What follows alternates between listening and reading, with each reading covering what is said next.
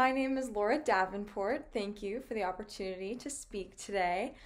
My main goals for this class are to get more comfortable with my public speaking skills and be able to give a presentation without having to read any notes and be able to feel like I can still make a connection with an audience even through a virtual platform.